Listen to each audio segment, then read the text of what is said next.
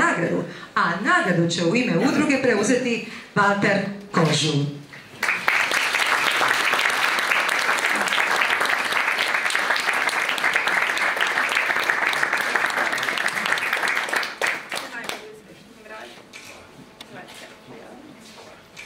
Ja pretpostavljam da ćete se i vi malo obratiti. Izvolite.